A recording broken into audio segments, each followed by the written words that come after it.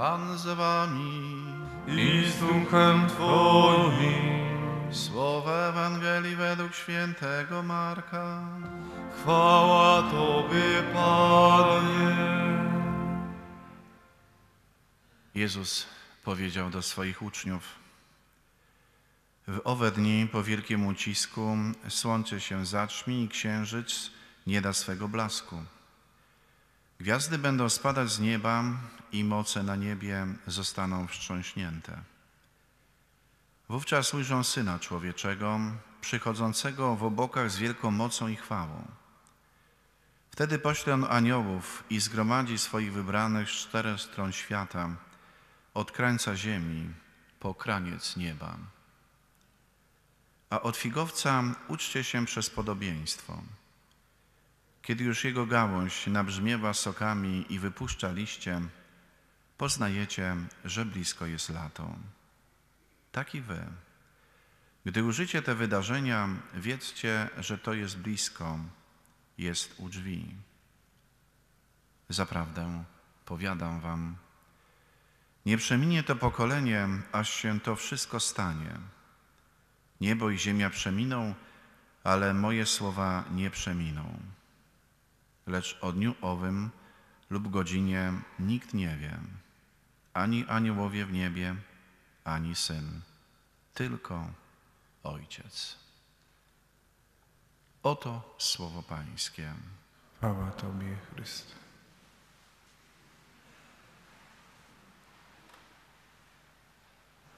Drodzy i kochani bracia i siostry, nasze życie jest czasem, który dał nam Bóg. Czas życia na ziemi pełen jest znaków, które mają nam pomóc Boga szukać, odnaleźć i poznać.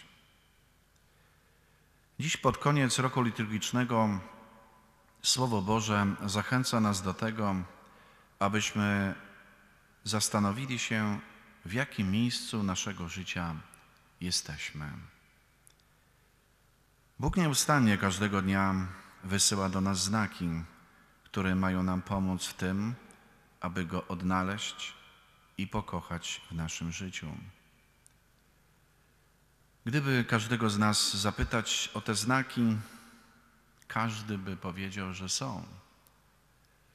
Bo Boże błogosławieństwo, Boża łaska, Boże przebaczenie, miłosierdzie to najbardziej znane nam znaki, które Bóg do nas wysyła i w których my uczestniczymy. Świat, w którym przyszło nam żyć, jest jednak światem pełnym hałasu i nadmiaru wielu niepotrzebnych informacji. Z tego powodu Boże orędzie jest niekiedy przysłonięte iluzją fałszywego szczęścia lub po prostu pesymizmu. Co prawda, dostrzegamy Królestwo Boże, tylko można powiedzieć tak jakby we mgle. Wiemy, że ono jest, a jednak jego przesłanie jest w naszym życiu jakby troszkę rozmazane. Nieumiejętność dostrzegania Królestwa Bożego nie jest tylko charakterystyczną dla współczesnego człowieka. Jezus dwa tysiące lat temu, widząc, że jego słuchacze mogą przeoczyć ważne znaki, które wysyła Bóg, posługuje się przypowieścią, aby nauczyć czujności wobec Bożych znaków. Przypowieści wykorzystuje obraz świata przyrody. Mówi o drzewie figowym, który wypuszczając liście przypomina ludziom o zbliżającym się lecie. Ludzie starożytności nie mieli, jak w naszych czasach, elektronicznych pomiarów czasu, które z dokładnością do setnej części sekundy potrafią przewidzieć zbliżające się zjawiska przyrodnicze. Stąd tylko poprzez obserwację znaku przyrody przewidywali czas, jaki ma nadejść. Dla rodaków Jezusa obraz wypuszczającego liście figowca był bardzo jasny. Przez czujną obserwację zjawych czasu mogą przygotować się na nadejście Królestwa Bożego. Kochani bracia i siostry, tym miejscu warto przenieść się do współczesności i zadać sobie pytania: czy my umiemy odczytywać znaki czasu? Czy to, co dzieje się w Europie czy w naszej ojczyźnie, nie jest znakiem od Boga? Że już czas, aby powrócić do autentycznej wiary? Przeszkodą w odczytywaniu znaków czasu jest bardzo często po prostu bierność, która przejawia się w odkładaniu naszego nawrócenia na jutro lub bliżej nieokreśloną przyszłość.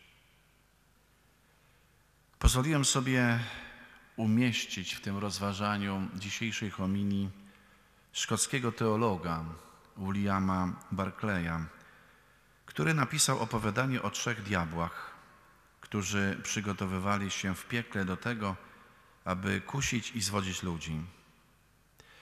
Tuż przed wyruszeniem na ziemię stanęli przed szefem, Lucyferem, tak trzeba powiedzieć, który miał sprawdzić, czy przygotowali się dobrze do wypełnienia swojej misji. Szatan zadał pytanie pierwszemu z diabłów. W jaki sposób będziesz kusił i zwodził ludzi po to, aby ich zniszczyć?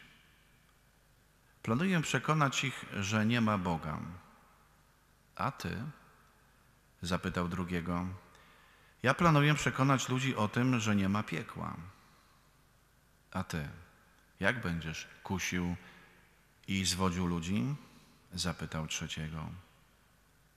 Ja po prostu będę się starał przekonać ludzi o tym, że mają wiele czasu na przygotowanie się do śmierci i do czekającego ich sądu ostatecznego. Szatan się uśmiechnął do trzeciego diabła i powiedział: Zrób tak, synu, a na pewno zwiedziesz w ten sposób wielu ludzi. Czy nie jest tak? Jeśli w naszym życiu będziemy odkładać na jutro nasze nawrócenie, a przez to zaprzestaniemy poszukiwania Królestwa Bożego, będzie to główną przeszkodą, która uniemożliwi nam odczytanie Bożych znaków.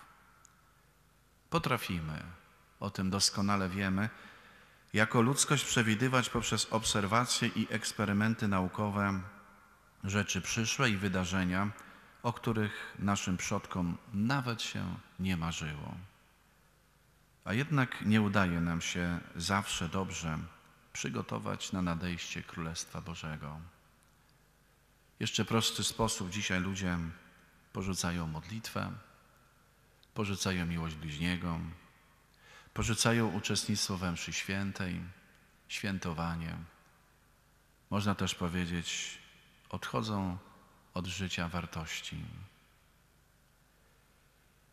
Kiedy kardynał Jan Król, arcybiskup Filadelfii, będąc w Polsce, odwiedził Siekierczynę koło Limanowej, wioskę, z której pochodził jego ojciec, w czasie kazania wspomniał o nim i powiedział: Mój ojciec był człowiekiem prostym, niewykształconym. Skończył zaledwie cztery klasy, ale był człowiekiem mądrym, ponieważ wiedział, skąd przyszedł i dokąd zmierza. Powiemy tak najprościej: Ojciec kardynała był człowiekiem, który rozumiał, że bez wiary w Boga trudno człowiekowi myśleć o swojej przyszłości, a przez to odczytywać znaki czasu. W konkluzji naszego rozważania i tej homilii powiemy sobie, jeśli w naszym życiu będziemy kierować się Słowem Bożym, będziemy wiedzieli, skąd każdy z nas przyszedł i dokąd zmierza. Dzięki temu będziemy umieli także odczytać znaki czasu, które Bóg każdego dnia, każdego dnia do nas kieruje, abyśmy odnaleźli Królestwo Boże. Bo przychodząc na tę mszę świętą dzisiaj, jutro i zawsze, przychodzimy po to, aby kiedyś zasłużyć sobie na największą nagrodę, nagrodę życia wiecznego, o którym dzisiejsze czytania i Ewangelia i sam Chrystus nam przypomina. Dobrze będzie, jeśli my będziemy w tym uczestniczyć w sposób świadomy, odczytując znaki czasu, które zachęcają nas do, do tego, abyśmy robili wszystko, by kiedyś spotkać się z Bogiem i zasłużyć na nagrodę nieba. Czego z serca wszystkim w tym poszukiwaniu otwartości i radości, która kiedyś nastąpi, życzę. Amen.